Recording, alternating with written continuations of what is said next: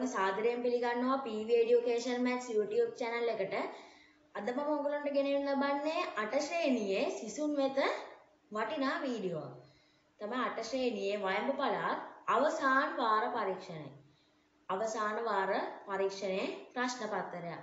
තුන්වන වාර පරීක්ෂණය නැත්නම් අවසාන වාර පරීක්ෂණයේ ප්‍රශ්න පත්‍රයේ 2018 නිකුත් කරනු ලැබූ ප්‍රශ්න පත්‍රයක්. එහි පළවෙනි කොටස ඔයගොල්ලෝ සමග සාකච්ඡා කිරීමට. මම වීඩියෝවෙන් බලාපොරොත්තු වෙන්නේ පළවෙනි කොටස. එම ප්‍රශ්න පත්‍රය. හරි. වයඹ පළාත් දකුණු පළාත් මේ නොයෙක් පළාත් ප්‍රශ්න පත්‍ර තිබෙනවා. ඒව සාකච්ඡා කිරීමට වගේම ඉංග්‍රීසි මාධ්‍යයෙන් සිංහල මාධ්‍යයෙන් දෙකෙන්ම සිදු කරන ලබන අනවගන්න ගණිතය අදන්න පුළුවන් ලේසිම channel එකක් හරි. එහෙනම් මම කලින් කරන ලබන්නේ ඉංග්‍රීසි මාධ්‍යයෙන් පුනරීක්ෂණ අභ්‍යාස හත ශ්‍රේණිය ඒක ඔයගොල්ලන්ට ඉංග්‍රීසි මීඩියම් අයට ඒක බලන්න පුළුවන්. හරි. එහෙනම් අපි අට ශ්‍රේණියේ වයඹ පළාත් අවසාන වාර 2018 මෙම ප්‍රශ්න පත්‍රයේ පළවෙනි කොටසට සාකච්ඡා කිරීමට සූදානම් වෙමු. හරි අපි එයට එනම් මාරු මොකද්ද පළවෙනි ප්‍රශ්නේ? පළවෙනි කොටසේ ඔයගොල්ලෝ දන්නවා ප්‍රශ්න 20ක් තියෙනවා. ප්‍රශ්න 20ට එකට දෙක බැගින් ලකුණු 40ක් පළවෙනි කොටසට හම්බ වෙනවා. හරි. පළවෙනි ප්‍රශ්නය. සංඛ්‍යා රටාවක පද පහත ආකාරයට ලියා ඇත. එහි දෙවන හා තුන්වන පද ලියන්න. ඒ කියන්නේ දැන් දෙවන පද හා තුන්වන පද තමයි ලියන්න තියෙන්නේ. ඔන්න පළවෙනි ප්‍රශ්නය. මොකක්ද ඒ රටාව? හත දෙවන පදය අපිට දීලා නැහැ. තුන්වන පදයක් දීලා නැහැ. ඊපස්සේ 16 19 22 කියලා තමයි මේ පදේ තියෙන්නේ. එතකොට මේ ප්‍රශ්නේ තිබෙන මේ මොකන්ද? දෙවෙනි පදය හා තුන්වෙනි පදය සොයන්න. එතකොට අපි මොකද්ද මේකේ හොයන්න ඕනේ? සම්බන්ධය. මෙන්න මේ සම්බන්ධය කියන එක අපි හොයාගන්න ඕනේ. මොකද්ද සම්බන්ධය? දැන් මේ සංඛ්‍යා රටාවේ තියෙන සම්බන්ධය මොකද්ද? අපිට ඒ සම්බන්ධය හොයන්න නම් මෙන්න මේ පද දෙක අතර තිබෙන ප්‍රමාණය හොයන්න ඕනේ. ඒකට මොකද කරන්න ඕනේ? අඩු කරන්න ඕනේ. එතකොට අපි මේ දෙක අඩු කරලා බලමු. 19 අඩු කිරීම 16. කීයද? 3යි. එතකොට මෙන්න මේ 3 තමයි සම්බන්ධය. හරි. එතකොට අපි බලමු දැන් මේ 22 අඩු කිරීම 19 කීයද? 3. 19 අඩු කිරීම 16 3. 16 අඩු කිරීම 3. එතනින් හම්බෙන එකෙන් අඩු කිරීම 3. එතනින් හම්බෙන එකෙන් අඩු කිරීම 3 තමයි 7. හරි. අපි බලමු දැන්. එතකොට දැන් මෙහෙට අඩු වෙනවා නම් දකුණු පැත්තේ සිට වම් පැත්තට අඩු වෙනවා නම් වම් පැත්තේ සිට දකුණු පැත්තට මොකද වෙන්නේ? වැඩි කරනවා. එතකොට එකතු කරනවා මේ ඔක්කොම 3. හරි අපි බලමු. දැන් 7 එකතු කිරීම 3 කීයද? 7 එකතු කිරීම 3 10යි. එතකොට 7 එකතු කිරීම 3 10යි. එතකොට මෙන්න මේ 10 තමයි දෙවන පදය. එම රටාවේ දෙවන පදය තමයි 10. එතකොට අපිට දෙවෙනි පදය 10යි. මොකද්ද තුන්වෙනි පදය? මේ තුන්වෙනි පදයක් තියෙනවා. මොකද්ද එතකොට? දැන් දෙවෙනි පදය එකතු කිරීම 3නේ. මෙතන තිබෙන දේ එතකොට 10 එකතු කිරීම 3. එතකොට කීයද? 13යි. එතකොට මේ 13 කියන්නේ තුන්වන පදය. 13 කියන්නේ තුන්වන පදය. එතකොට අපිට මේ සංඛ්‍යාවට මෙහෙම විසඳන්න පුළුවන්. මෙහි දෙවන පදය 10, තුන්වන පදය 13. මෙහි සම්බන්ධය 3. ඔයන්ට ඉදිරියට ඉගෙන ගන්න පුළුවන් සංඛ්‍යා ශ්‍රේණිය කියලා එකක් තියෙනවා. ඒක සම්බන්ධය. අපි සංඛ්‍යා රටාවක සොයාගන්න සම්බන්ධය සංඛ්‍යා ශ්‍රේණියකදී ගොඩක් වැදගත් වෙනවා. මේ තමයි පළවෙනි ප්‍රශ්නය. හරි. අපි එහෙනම් දෙවෙනි ප්‍රශ්නයට යමු වෙනවා. මොකද්ද දෙවෙනි ප්‍රශ්නය? A නම් ස්ථානයේ සිට බලන විට P නම් ස්ථානයේ පිහිටීම දා 45යි බ. ඒ කියන්නේ මොකක්ද? දෙවෙනි ප්‍රශ්නේ මෙන්න මෙහෙම එකක් තියෙනවා. 45 b. එතකොට 1045 ब කියන්නේ 45 අංශක ब. එතකොට ඒ කියන්නේ මොකද්ද? දකුණ මේ බටහිර. එතකොට 45යි අංශක 45යි. එතකොට දකුණ අංශක 45 බටහිර. එකකද ඔයගොල්ලෝ? නෑ මොකක්ද දෙන්නවනේ? දකුණින් දකුණින් අංශක 45 බටහිරට. එතකොට දකුණින් අංශක 45ක් බටහිරට කියන එක තමයි දා 45 බ කියන්නේ. හරි.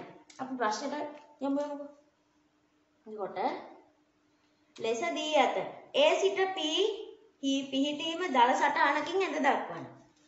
එතකොට දැන් මෙහෙම තමයි A. A මෙහෙම සඳහන් කරලා තිබෙනවා ප්‍රශ්න පත්‍රයේ. අපිට ඕනේ P කියන දකුණ යොදන්න. එතකොට කොහොමද අපි මේක යොදන්නේ? දැන් දකුණේ අංශක 45ක් බටහිරට. එතකොට අපි ඉස්සෙල්ලාම මේ දල සටහන හදාගන්නකො මෙන්න මේ ඌ ද නෑ උතුර නැගෙනහිර දකුණ බටහිර. අපි මේ විදිහට ඇඳලා දැන් අපි මෙතනත් ඒ විදිහටම ඇඳගමු උතුර දකුණ නැගෙනහිර බටහිර. මෙතන A. මෙතන A. හරි. දකුණින් අංශක 45ක් බටහිරට කියන්නේ මෙතනින් අංශක 45ක් බටහිරට තියෙනවා ඒකට තමයි එම ස්ථානයට තමයි P කියන්නේ. ඒ කියන්නේ දකුණින් ඒ කියන්නේ දකුණේ සිට අංශක 45 බටහිරට. ඒ කියන්නේ මොකද්ද මෙතනින් යොමු වෙනවා මෙන්න මෙහෙම ඒ කියන්නේ මොකද්ද මෙන්න ලකුණ එතකොට මෙතන තමයි P තියෙන්නේ දකුණින් අංශක 45ක් බටහිරට කියන්නේ මෙන්න මෙහෙම එතකොට මෙතන තියෙනවා අංශක 45 ඔයගලන්ට මේක ඔයගොල්ලෝ දන්නවා උපකරණයක් තියෙනවා කෝණමානය. මේ කෝණමානයේ අපිට මැනලා තමයි මේකට උත්තරේ ගන්න ඕනේ මම මේක නිකන් දවසටහනක් ලෙස තමයි මේ ඇද්දේ ඔයගලන්ට මේ මැනීමෙන් තමයි යොදන්න ඕනේ කෝණමානය භාවිත කරමින්. හරි. මේ තමයි පිළිතුර. හරි. අපි තුන්වෙනි ප්‍රශ්නයට යමු.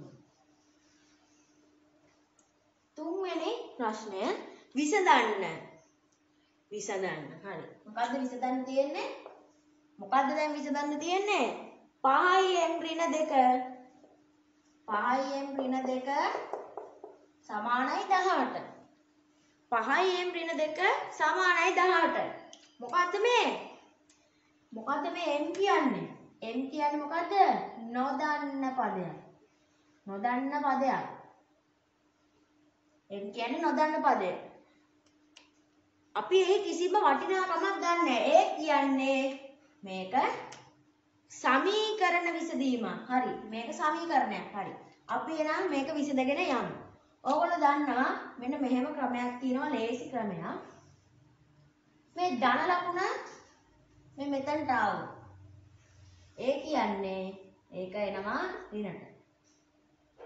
කියන්නේ මේ පාදය මොකද්ද පාදය? මේ තියෙන මේ දෙක තමයි පාදය. තේරුණාද? එතකොට මේ දෙක තමයි පාදය. මේක මෙතන ධන આવොත් මේක මෙතනිනුත් අඩු වෙනවා. තේරුණාද? එතකොට මෙතන ඍණාව කියමුකෝ. මේ වගේ. මේ වගේ එකකදී පාදය එකතු කරනවා. පාදය එකතු කරනවා. ඒ කියන්නේ පාදය මේකෙනුත් එකතු වෙනවා මේකෙනුත් එකතු වෙනවා. විසඳලා බලමුද? හරි.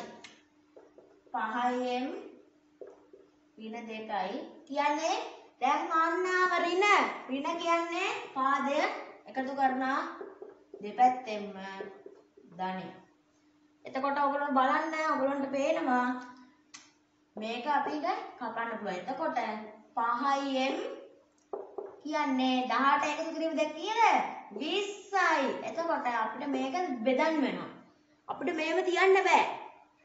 එතකොට අපිට මේ නොදන්නා පදය මොකක්ද කියලා අපි හොයන්න ඕනේ. එතකොට මෙතන පහනේ තියෙන්නේ. එතකොට අපිට දෙපැත්ත පහෙන් බෙදන්න පුළුවන්.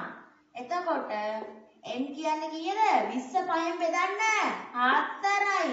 එතකොට මේ නොදන්න පදයේ වටිනාකම 4යි. එතකොට m කියන්නේ 4යි.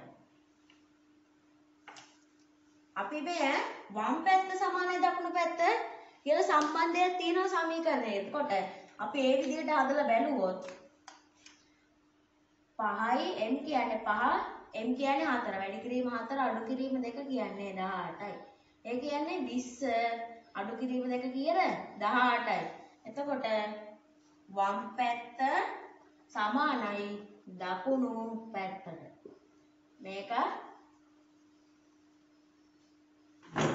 වම් පැත්ත සමානයි දකුණු පැත්ත සම්බන්ධය. ඔයගොල්ලෝ දන්නවා. අපි සිංහලෙන් කියනවා නම් වම් පැත්ත සමානයි දකුණු පැත්ත. නැත්නම් අපි මේක ඉංග්‍රීසි වලින් ගත්තොත් මොකද්ද?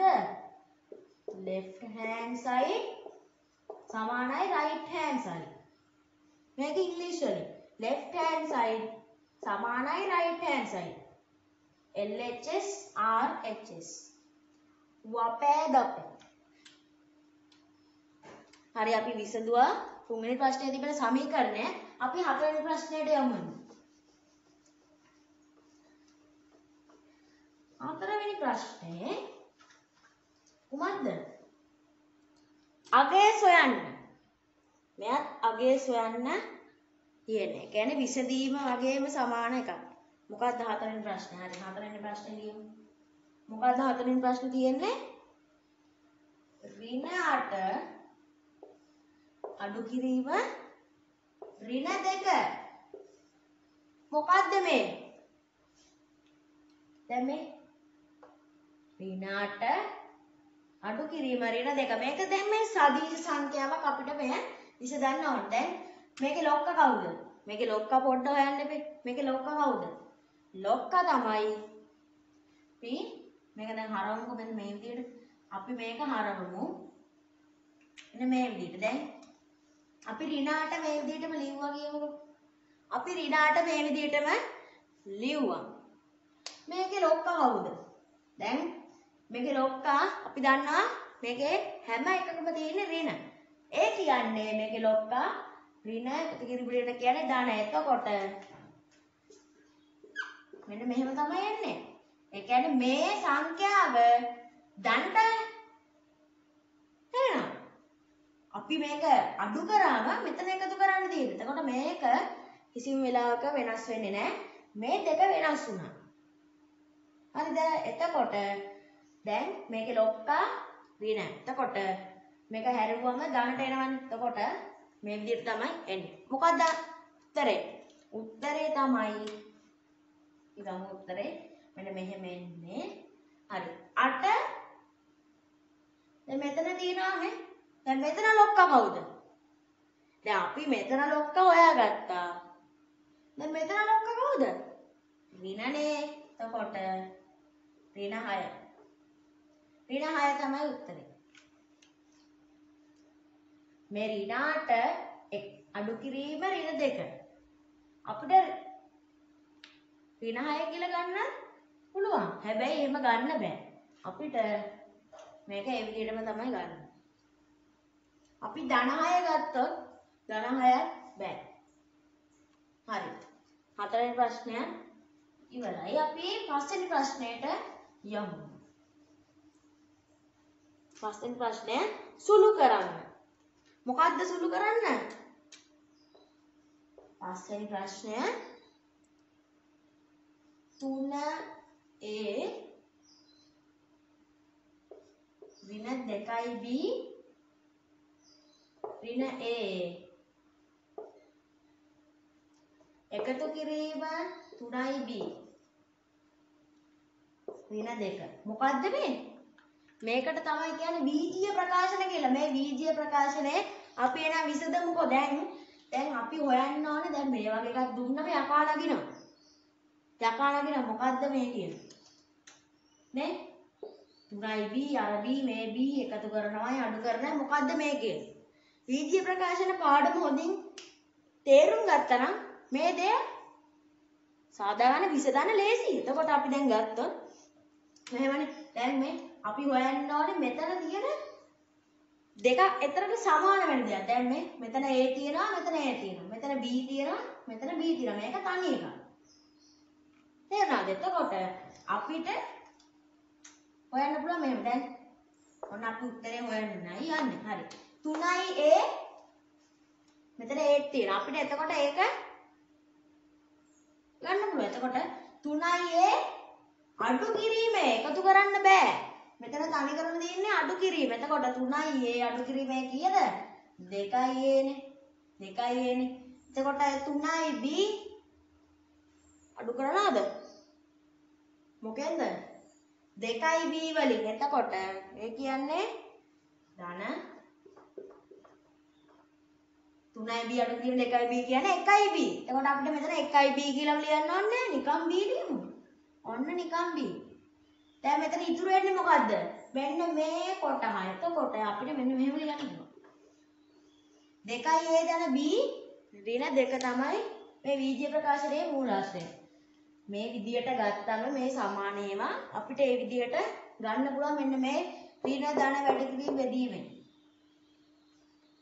හරි. මේ ප්‍රශ්නේ ප්‍රශ්නයක් ඉවරයි. අපි එහෙනම් යමු යමු 6 වෙනි ප්‍රශ්නයට. මොකද්ද 6 වෙනි ප්‍රශ්නය? පොල්වත්තක ඇති එක් එක් පොල් ගසකින් කැඩූ ගෙඩි ගණන පහත දැක්වේ. 8 10 3 8 4 10 12 11 11 8 මෙහි මධ්‍යස්ථ ගෙඩි ගන්න කීයද? මොකද්ද මේ? දැන් මධ්‍යස්ථ ගෙඩි ගන්න කියන්නේ අපි මධ්‍යස්ථ ප්‍රමාණයක් හොයනවා නම් අපි මේ දීලා තියෙන රටාව ආරෝහණ හෝ අවරෝහණ විදිහට ලියන්න ඕනේ. ආරෝහණ කියන්නේ කුඩා සිට විශාල, අවරෝහණ කියන්නේ විශාල සිට කුඩා. අපි මධ්‍යස්ථ ප්‍රමාණයක් හොයනවා නම් අන්න ඒ විදිහට ආරෝහණ පිළිවෙල හෝ අවරෝහණ පිළිවෙල යොදා ගන්න ඕනේ. අපිට කැමති විදිහකට ගන්න පුළුවන්. අපි ආරෝහණ විදිහට ගමුකෝ. ඔන්න 6 වෙනි ප්‍රශ්නය අපි ගත්තා. දැන් මොකද්ද මේකේ ආරෝහණ විදිහට ගත්තොත් පළවෙනිටම තියෙන්නේ 3. පළවෙනිටම තියෙන්නේ 3. 3 ගමු ඔන්න. 3 ලිව්වා. ඊළඟට මොකක්ද තියෙන්නේ? වැඩිම 4. ඊළඟට එන්නේ මොකද්ද? 3 ආවා 4 ආවා ඊළඟට එන්නේ 8 තියෙනවා ඊළඟට. 8 ඊළඟට මොකද්ද? 8 ඒවා 3ක් තියෙනවා. එතකොට 8 8 8 අපිට ලියන්න පුළුවන් මෙන්න මේ විදිහට. ඊළඟට මොකක්ද එන්නේ? ඊළඟට එනවා 9 නෑ 10. 10 තව තියෙනවද 10? ඔව් තියෙනවා. තව එකක් තියෙනවා. ඊළඟට මොකක්ද එන්නේ? 11. 11 එක දෙකක් එකටම තියෙනවා. ඊළඟට 12ක් තියෙනවා. ඔන්න. 12ක් තියෙනවා. එතකොට අපි දැන් හොයමුකෝ මේක. ඔන්න අපි හෙව්වා. දැන් අපි 11 මධ්‍යස්ථ ප්‍රමාණය හොයන්න නම් අපි බලමු මේක ගණන් කරලා දැන් 1 2 3 4 5 6 7 8 9 10 ඔන්න ඔහම තියෙනවා. අපිට මේ වැරදුනේ නෑ හරි. මේ 8 10 3 8 4 10 12 11 11 8 හරි. හරි හරි. දැන් මේකේ මොකද්ද? අපි මේක හෙව්වොත් මේකේ මොකද්ද මධ්‍යස්ථ? ව තියෙන්නේ. මොකද්ද මේකේ මධ්‍යස්ථව තියෙන්නේ? දැන් ඕගොල්ලන්ට ඔළුව විකාර වෙනවා දැන් මේක ගත්තාම. දැන් මෙතන ගාන්ට මධ්‍යස්ථව හොයන්න බෑනේ. මොකද දැන් 5 මේ 3 4 8 8 8 10 10 11 11 12. ගාන්ට පහපා දෙනවා. කොහොමද මධ්‍යස්ථ එකක් හොයන්නේ? ආ එතකොට මොකද්ද අපි කරන්න ඕනේ? මේ 10ට තියෙන පස්සේ සංඛ්‍යා නැත්නම් මේක අපි ඔත්තේ කරන්න ඕනේ. කොහොමද ඔත්තේ කරන්නේ? මේ 10 ධන 1 කියන්නේ 11. අපි 11 ගමුකෝ ඔන්නෝම. එතකොට අපිට මෙහෙම ගන්න පුළුවන්. හරි. අපි දැන් අපි ඊළඟට කරන්න ඕන දේවල් ටික දැන් අපි මෙතන ලියමු. මොකද දැන් ඕගොල්ලන්ට ඔළුව විකාර වෙන්නේ මේක. දැන් 1 2 3 4 5 ආය 6 7 8 9 10. මෙහෙම තියෙනකොට අපි කොහොමද මධ්‍යස්ථ එකක් හොයන්නේ? දැන් 10 බෙදීම දෙක පහනේ. එතකොට අපි පහ හයේ මධ්‍යස්ථ එක අපිට හොයන්න පුළුවන් 5.1 2 3 4 5. 5.6 5.7 ඒ වගේ වක්ක දෙකක් හොයන්න පුළුවන්. ඒ වුණාට අපි මේක ලිව්වම 10 බෙදීම දෙක කියලා අපිට කෙලින්ම පහ කියලා ලියන්න පුළුවන් නේ. තේරුණාද? එතකොට අපිට මේක එකක් එකතු කරලා එබ සංඛ්‍යා රටාවේ මූලාශ්‍රය වෙන්න පුළුවන්. එතකොට 10 එකතු කිරීම එක 11යිනේ. අපිට ඊ ළඟ තියෙන දේ ගන්න පුළුවන්. හැබැයි ඒට වඩා එකක් හරි වැඩියෙන් තියෙන ඔක්ක සංඛ්‍යාව. අපිට 13ක් ගන්න පුළුවන්. හරි. අපි ළඟම තියෙන මොකද්ද? 11. එතකොට 11 බෙදමුකෝ දෙකෙන් දැන් මේ තියෙන 1 2 3 4 5 මෙන්න මෙතනින්. මෙන්න මෙතනින් තමයි අපි ගණන් ඕනේ. එතකොට අපි බෙදමු කාලසම දෙක. එතකොට කීයද එන්නේ? 5යි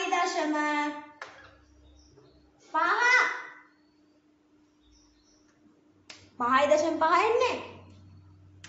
මේ දශම විතර 5යි දශම 5 එන්නේ. එතකොට මොකද්ද මධ්‍යස්ථ? 5යි දශම 5.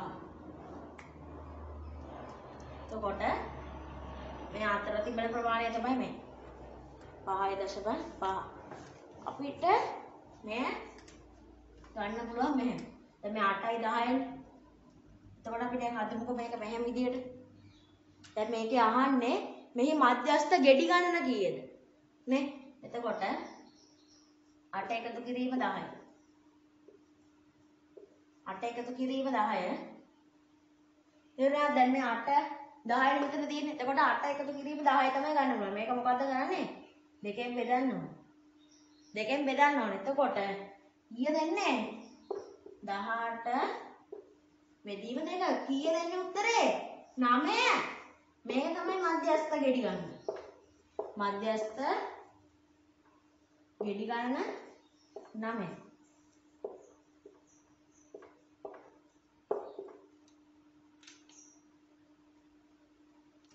මෙහි අතර තිබෙන එක ඔයාලට තමයි අපි ඉමු කරන්නේ. හරි. ඔන්න 6 වෙනි ප්‍රශ්නයත් ඉවරයි. අපි එන යමුමු 7 වෙනි ප්‍රශ්නෙට. මොකද්ද 7 වෙනි ප්‍රශ්නේ? මේකත් ඔලුයි කාරණ එකක්ද නෑ. xc අගය සොයන්න. මොකද්ද xc අගය දැන්? මෙන්න මෙහෙම තමයි තියෙන්නේ. 7 වෙනි ප්‍රශ්නේ. මෙන්න මෙහෙම තියෙනවා ත්‍රිකෝණේ කොහොම තියෙනවද? අන්න කොහොම තියන්නේ? එතකොට මෙන්න මෙතන තමයි x තියෙන්නේ. මෙතන තියෙනවා 50. මෙතන තියෙනවා 30. අපි එහෙනම් හොයමුකෝ. දැන් ඕගොල්ලෝ දන්නවා ත්‍රිකෝණයක තියෙන ප්‍රධානතම අංශක ප්‍රමාණය අංශක 180යි කියලා. අපි මේක දැන් විසඳමු දැන් අපි ගමු x ධන අංශක 50 ධන අංශක 30 තමයි මොකද්ද මේ මුළු ප්‍රමාණය අංශක 180 තේරුණාද එතකොට මේ x ධන මේ 50යි 30යි කියන්නේ කීයද 50 ධන 30 80යි එතකොට x ධන 80 කියන්නේ 180 ඒ කියන්නේ දැන් ඔයගලන්ට තේරෙනවා නේ මේ විසඳුම කොහොමද ගන්න කියලා. එතකොට x කියන්නේ 180 අඩු කිරීම 80. 180 අඩු කිරීම 80. ඒ කියන්නේ කීයද? x කියන්නේ අංශක 100. අංශක 100. x කියන්නේ අංශක 100.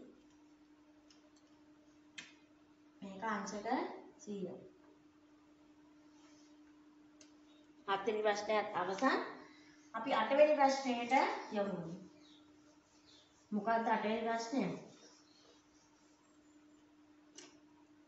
අටවෙනි ප්‍රශ්නය දී ඇති සංඛ්‍යා රේඛා මත x මානයි කියන්නේ x ඊට වඩා කුඩායි ධන දෙක යන අසමානතාව නිරූපණය කරන්න. ඒ කියන්නේ දැන් මෙන්න මෙහෙම. අටවෙනි ප්‍රශ්නය මෙහෙමයි තියෙන්නේ. x කුඩායිලු ධන දෙකට වඩා. x කුඩායිලු ධන දෙකට වඩා. එතකොට ඒ කියන්නේ මොකද්ද? x කුඩායිලු ධන දෙකට වඩා. එයි අසමානතාව නිරූපණය කරනු. කොහොම කියන්නේ නිරූපණය කරන්නේ මෙන්න මේ. එතකොට මෙතන තියෙනවා ඍණ 4 එතන තියෙනවා ඍණ 3 ඍණ 2 ඍණ 1 බිඳුව ධන 1 ධන 2 ධන 3 ධන 4 ලෙසින් මේ විදිහට තියෙනවා. හරි. කොහොමද මේ සංඛ්‍යා රේඛාව අපි මේක කරන්නේ? එතකොට දැන් මේ x කුඩායිලු ධන දෙකට වඩා. එතකොට අපි ධන දෙක කියන්නේ මොකද්ද? මේ තියෙන ධන දෙක. අපි මෙන්න මේ විදිහට මාක් කරනවා. x කුඩායිලු ධන දෙකට වඩා. එතකොට අපි මෙන්න මේ ධන දෙක මාක් කරනවා මේ විදිහට. ඊට පස්සේ මෙතනින් පස්සේ තියෙන මේ ටික ඔක්කොම අපි පාට කරන්න ඕන. මේ විදිහට. ඔන්න ආ උත්තරේ. x කුඩායි ධන දෙකට වඩා ඔන්න ඉඩ ගන්න පුළුවන්. හරි.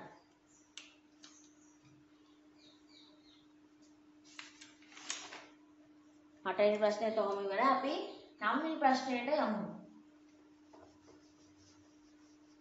හරිද නවවෙනි ප්‍රශ්නය ප්‍රථමක සාධක ඇසුරෙන් 144 හි අගය සොයන්න.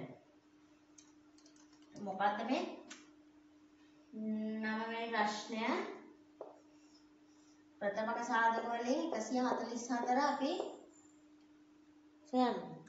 එතකොට දැන් මොකද්ද මේ ප්‍රථමක සාධක කියන්නේ? ප්‍රථමක සාධක යනු සාධක දෙකක් පමණක් තිබෙන සංඛ්‍යා. එතකොට අපි ඒ ටික හොයලා ඉමු කොටවම කලින්. දැන් එක ගමු. එක පුළුවන්ද? බෑ. එක වැඩි කිරීම එක කොහොමත් බෑ.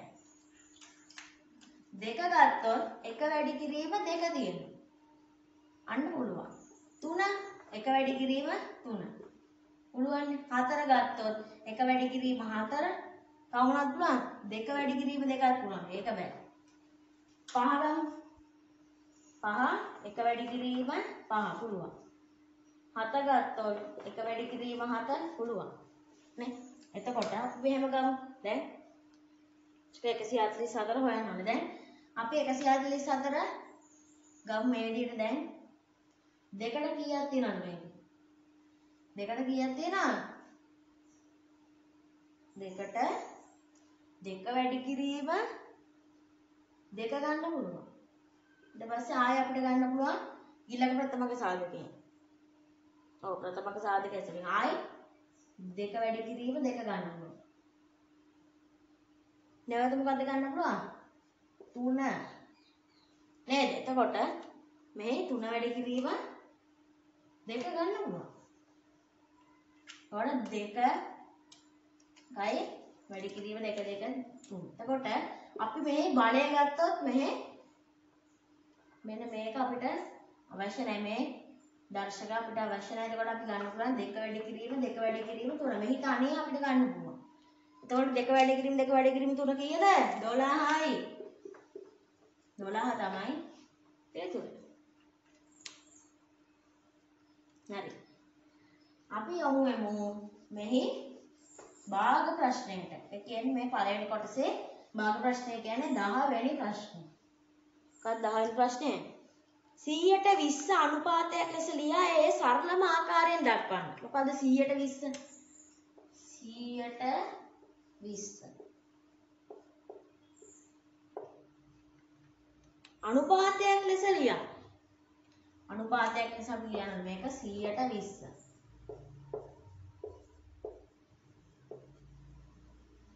සියයට විස්ස. අනුපාතයක් ලෙස ලියමු. මේක තමයි භාගය. ඔයගොල්ලන්ට මේක ලේසි විදියක් තියෙනවා 100ට 20. ඒ කියන්නේ 100 යටින් දීලා 20 උඩින් ලියන්න 100ට. මේ මේක තමයි භාගය. දැන් අපි අනුපාතය මොකද්ද? අපිට අනුපාතය කියන්න පුළුවන් මේ විදිහට 20ට 100. මේක තමයි අනුපාතය. ඒ සරලම ආකාරයෙන් දක්වන්න. සරලම ආකාරයෙන් දක්වුවේ කොහොමද? ඒක තමයි අනුපාතය. සරලම ආකාරයෙන් දක්වමු. දැන් මේ දෙකම අපිට බෙදන්න පුළුවන්. මේ දෙකම අපිට එකම බෙදන්න පුළුවන් 20ෙන්. 120 මෙතන. එතකොට එන උත්තරේ මොකද්ද? එකට පහක් කියලා. එතකොට සරලම ආකාරය එකට පහයි. සරලම ආකාරය එකට පහයි. අපිට එහෙම ගන්න පුළුවන්. 10 වෙනි ප්‍රශ්නයත් ඉවරයි. අපි මාරු වෙමු 11 වෙනි ප්‍රශ්නේ. මොකක්ද 11 වෙනි ප්‍රශ්නය? 11 ප්‍රශ්නය. සුළු කරන්න තියෙන්නේ. මොකද්ද සුළු කරන්න තියෙන්නේ? ලේසි ගානක් කියලා හිතෙයි. මෙන්න මෙහෙම. ද බෙඩි මෙන්න. සුළු කරන්න තියෙන්නේ. කොහොමද සුළු කරන්නේ? දැන් ඔයගොල්ලෝ දන්නවා මේක අපිට හරවන්න පුළුවන් මේ විදිහට 3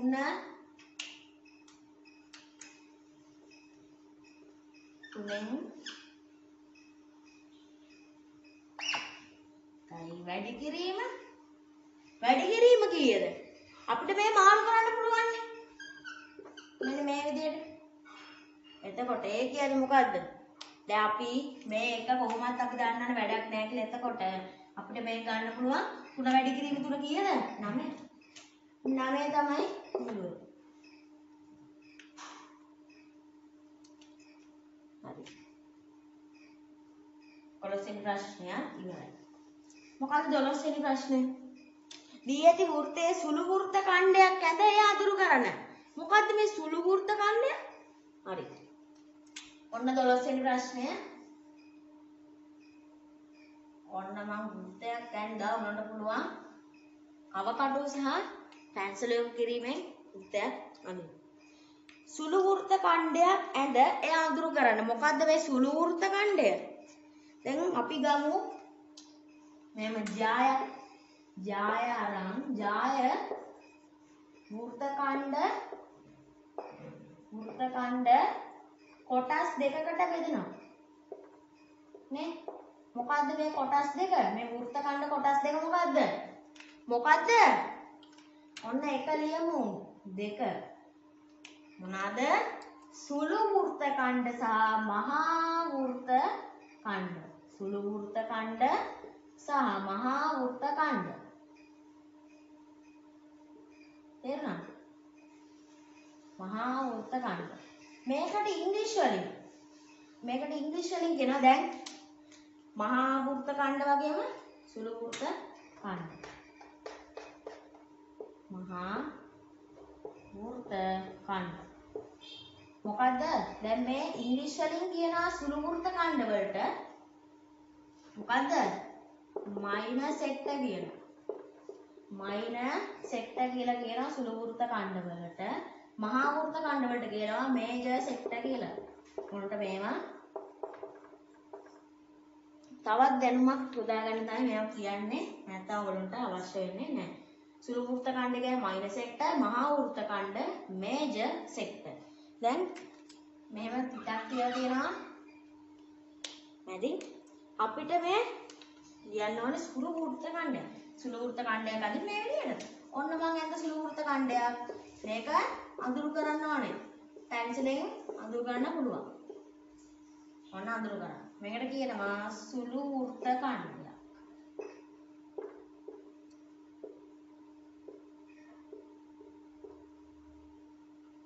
සුළු වෘත්ත ඛණ්ඩයක්.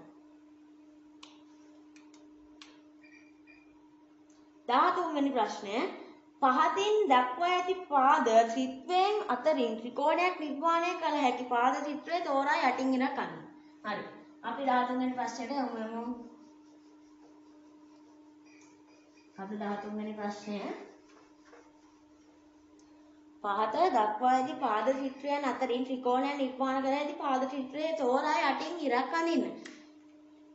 මේ පාද දෙකක් එකතු කර විට අනිත් පාදේ ඊට වඩා අඩු වෙන්න ඕනේ. අනිත් පාදේ ඊට වඩා අඩු වෙන්න ඕනේ. ඒ කියන්නේ පාද දෙකක් එකතු කර විට අනිත් ඉතුරු වෙන පාදය ඊට වඩා අඩු වෙන්න ඕනේ.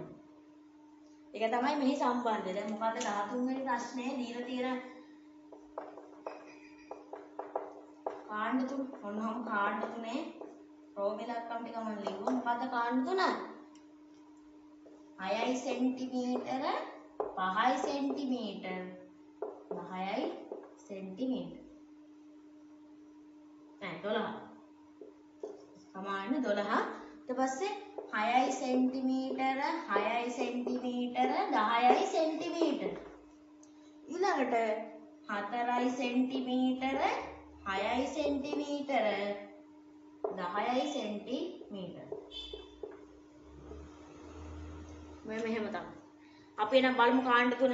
පාද දෙකක් එකතු කර විට අනිත් පාදේ ඊට වඩා අඩු වෙන්න ඕන. අපි බලමු එනම් අඩු වෙනවද කියලා. අපි පාද දෙක එකතු කරමු. 6යි එකතු කිරීම 5 කීයද? 6 එකතු කිරීම 5. 6 එකතු කිරීම 5 11යි.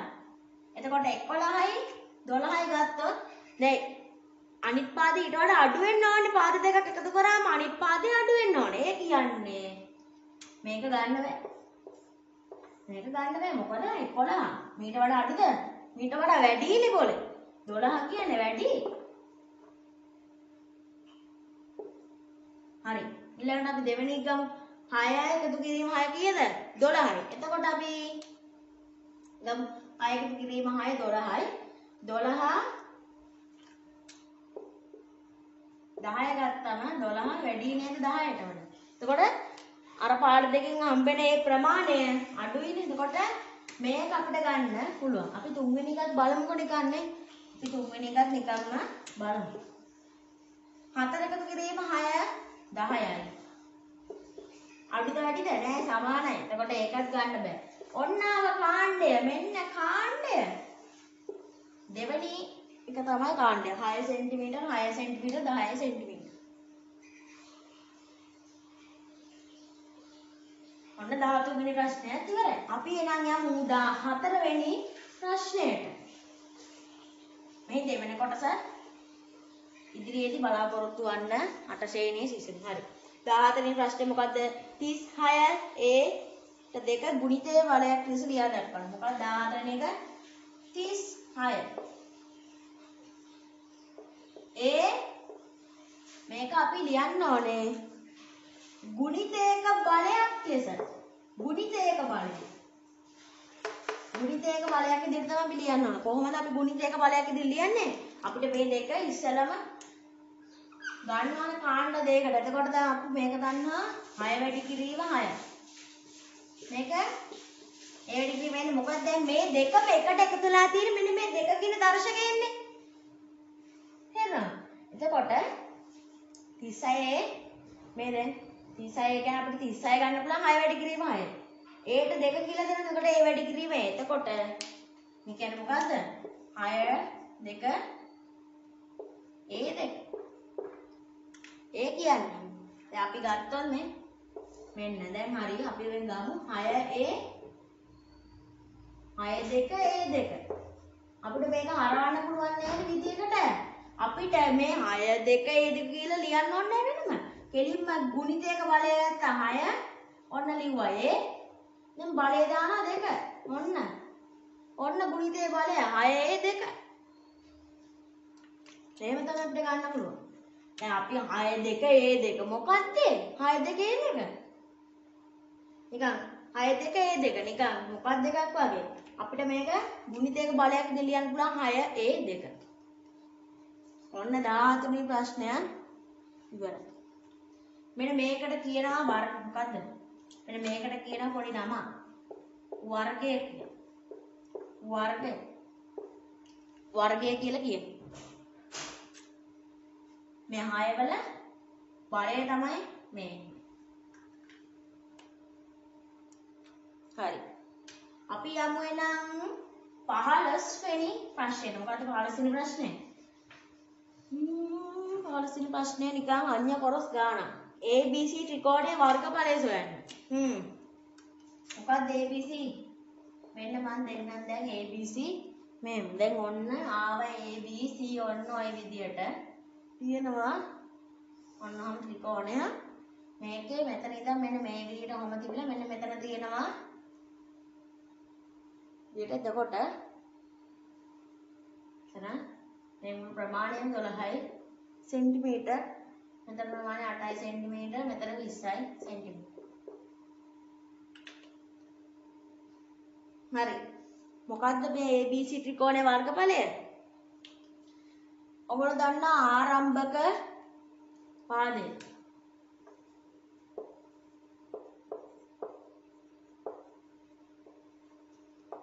පාදේ වගේම ලම්බ උස කියලා එකකුත් තියෙනවා. මේ දෙකෙන් තමයි අපි මේක වැඩි කරන්න ඕනේ. දැන් මොකද්ද මේකේ ආරම්භක පාදය? නැත්නම් අපි කියනවා perpendicular height කියලා. මොකද්ද ආරම්භක පාදය? ඔන්න. දැන් මේක භාගයන්නේ මේ තියෙන මේක A B C. මොකද්ද මේකේ වර්ගඵලය? මේ තියෙන්නේ. මෙන්න මේකේ තමයි අපි හොයන්න ඕනේ. මේක දින තියෙන ඔයගොල්ලෝම පටලවන්න. මේක අපිට අවශ්‍ය වෙන්නේ නැහැ. මොකද්ද ආරම්භක පාදය? ඔන්න භාගය වැඩි කිරීම ආරම්භක පාදය 12. මොකද ලම්බ උස මේ තියෙන්නේ ඔන්න 8 සෙන්ටිමීටර්. ඒ කියන්නේ අපි මේක මේ විදිහට බෙදලා 6යි ගමු. හරි. ඒ කියන්නේ දැන් කීයද ඉතුරු වෙන්නේ මෙතන? 6යි සෙන්ටිමීටර් වැඩි කිරීම 8යි සෙන්ටිමීටර්. එතකොට කීයද? මුළු ප්‍රමාණය කීයද? 48යි සෙන්ටිමීටර්. එතකොට ඔන්න වර්ගඵලය 48යි සෙන්ටිමීටර්. මෙන්න මේ දෙකත් අපි දානවා. වර්ග සෙන්ටිමීටර්. හරි. කාලසින් ප්‍රශ්නය අවසන්. අපි යමු යමු 16 වෙනි ප්‍රශ්නයට. මොකද්ද මේ 16 වෙනි ප්‍රශ්නය? 20ක් සෙන්ටිමීටර් දිග 5ක් සෙන්ටිමීටර් පළල 8 සෙන්ටිමීටර උස ඝනකාභ ආකාර භාජනයක් සම්පූර්ණයෙන්ම ජලය පුරවා ලීටර් එකක භාජනයකට දැමූ විට එහි හිස්ව තිබූ ඉඩ ප්‍රමාණයේ පරිමාව ඝන සෙන්ටිමීටරකින් වෙන. මොකක්ද ඒ બોලේ? ඕන් ගත්ත 16 වෙනි ප්‍රශ්නේ. ඔයගොල්ලෝ දන්නවා පරිමාව කියන්නේ මොකක්ද? මෙන්න තියෙනවා පොඩි සම්බන්ධයක් පරිමාව කියන්නේ දිග වැඩි කිරීම උස වැඩි කිරීම පළලනේ නේ තම ඉංග්‍රීසි වලින් මෙන්න මෙහෙමත් එනවා.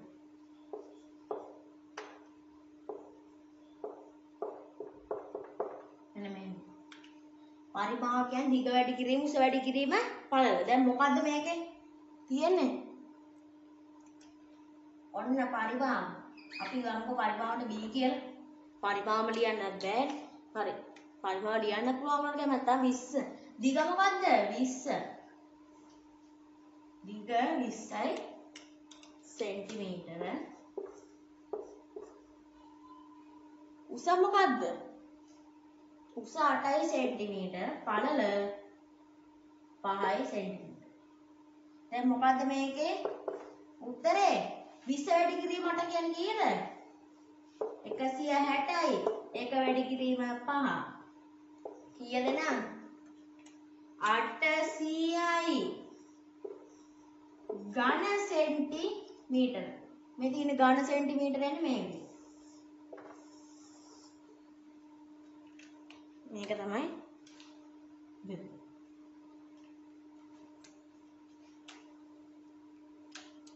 මේකද පිළිතුර?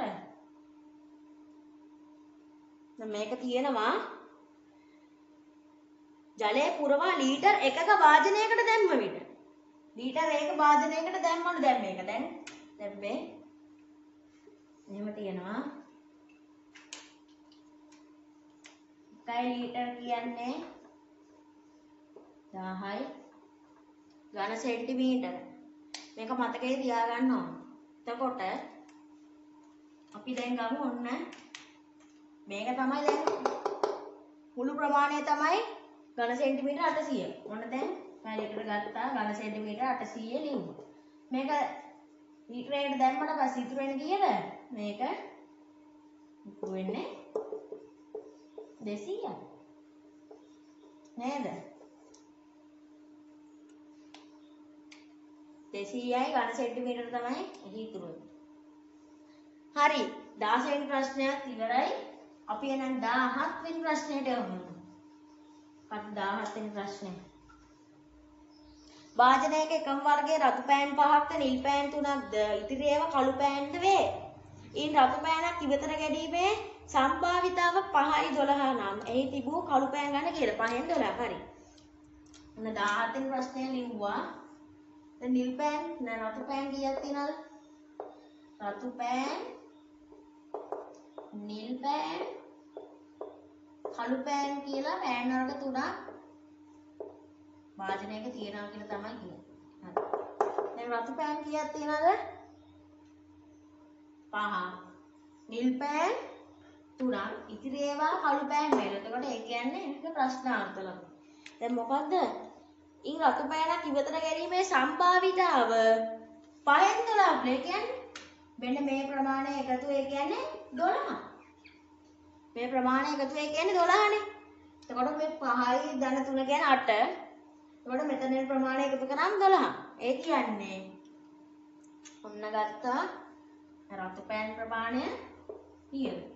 ඕන් රතු පෑන් ප්‍රමාණය දැන් එනවා 5න් 12ක් මොකද ඒකේ සම්භාවිතාව මේ 5යි තියෙන්නේ 5න් 12. එතකොට නිල් පෑන් 3න් 12. එතකොට කළු පෑන් කීයද? ඔන්න ගත්තා. ඔන්න අපි අහමු. දැන් 12 කියන්නේ 5 එකතු කිරීම 3 එකතු කිරීම අපි මේ කළු පෑන් ප්‍රමාණයට ගමු x කියලා. එතකොට 12 කියන්නේ 5ට කිරීම දැනගෙන 8යි. එතකොට 8 දැන x ඒ කියන්නේ කීයද 12 අඩු කරන්න ඕනේ 8ෙන් කීයද 4යි. ඒ කියන්නේ කළු පෑන් 4ක් කළු පෑන් 4ක්. කළු පෑන් 4ක් තියෙනවා. වාදනයේ කළු පෑන් 4ක් තියෙනවා. හරි. අපි 18 වෙනි ප්‍රශ්නයට එමු. 18 වෙනි ප්‍රශ්නයට යමු. අද 18 වෙනි ප්‍රශ්නය. එකට 5000 යන පරිමාණයට ඇද ඇති සිතියමක ස්ථාන දෙකක් අතර දුර 12 සෙන්ටිමීටර නම් එම ස්ථාන දෙක අතර සැබෑ දුර කීයද? හ්ම් මොකද්ද? ඔන්න 18 වෙනි ප්‍රශ්නය. එකට 5000යි කියන්නේ කීයද? එකක් සෙන්ටිමීටර් කියන්නේ 5000යි සෙන්ටිමීටර්. මේක අපි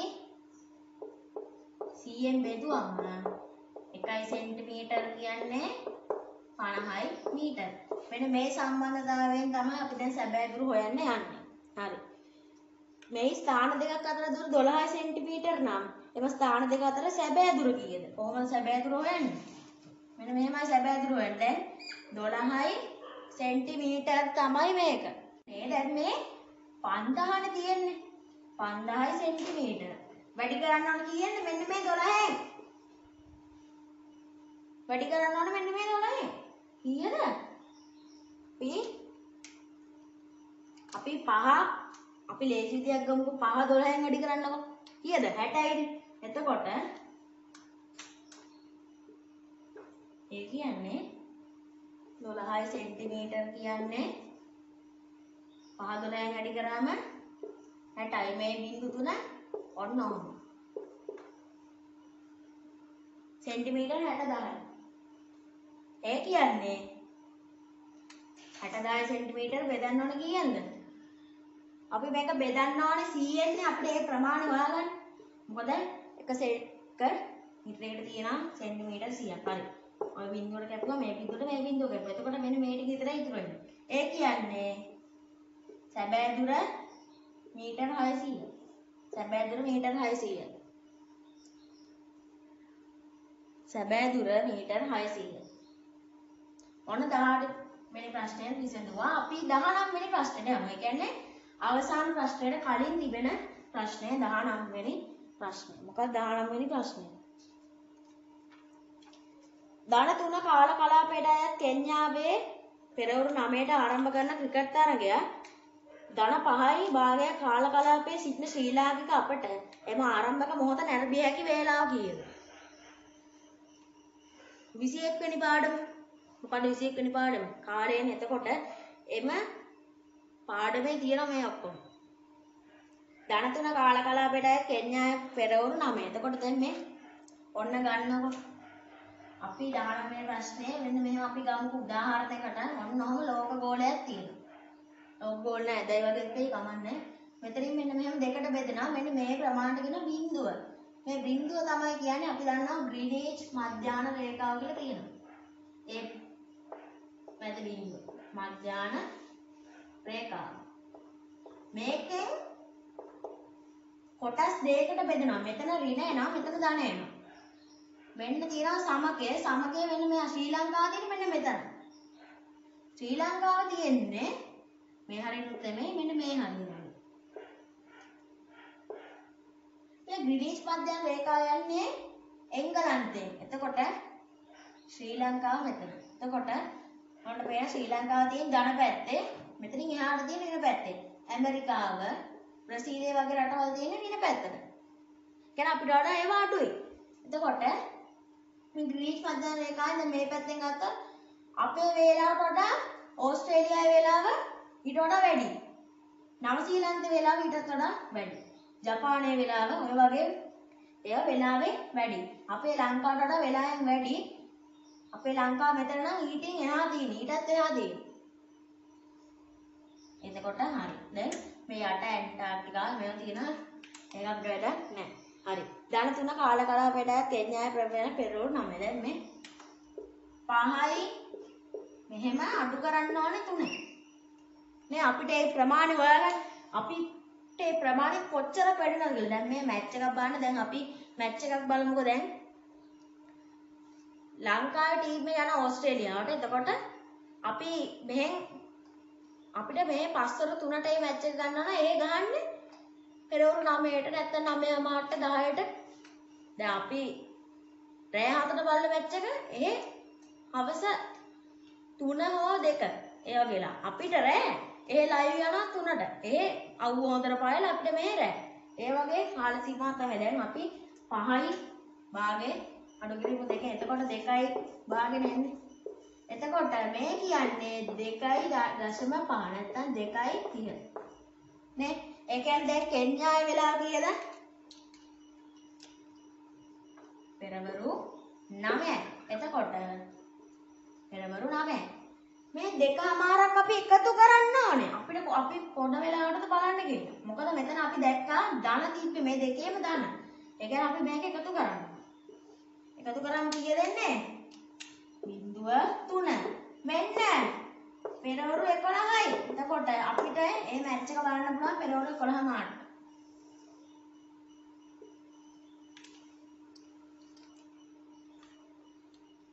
අපි අපි යමු එනම් අවසාන ප්‍රශ්නයට යමු යමු. 19 වෙනි ප්‍රශ්නයට. විසඳුවා අපි අවසාන ප්‍රශ්නයට යමු. මේ කියන්නේ 20 වෙනි ප්‍රශ්නය. දී ඇති කාටීසිය තලය මත y සමානයි ධන දෙක රේඛාව ඇඳ දක්වන්න. මොකක්ද මේ දීලා දෙන කාටීසිය තලය? ඔන්න තියෙනවා 20 වෙනි ප්‍රශ්නය. නැත්නම් අපි අවසාන ප්‍රශ්නය ඔන්නෝම දෙපැත්තට වෙලා කාටීසිය තලයක් තියෙන y. මෙතන y මෙතන තියෙන්නේ x. මෙතනත් y මෙතනත් x. මෙතන තියෙනවා ධන 4 ධන 3 ධන 2 ධන 1 මෙතන ඔක්කොම ඒවල බිඳුව. එතකොට මෙතන ආයි ධන 1 ධන 2 ධන 3. මෙතන ඍණ 3 ඍණ 2 ඍණ 1 මෙහෙම තියෙනවා.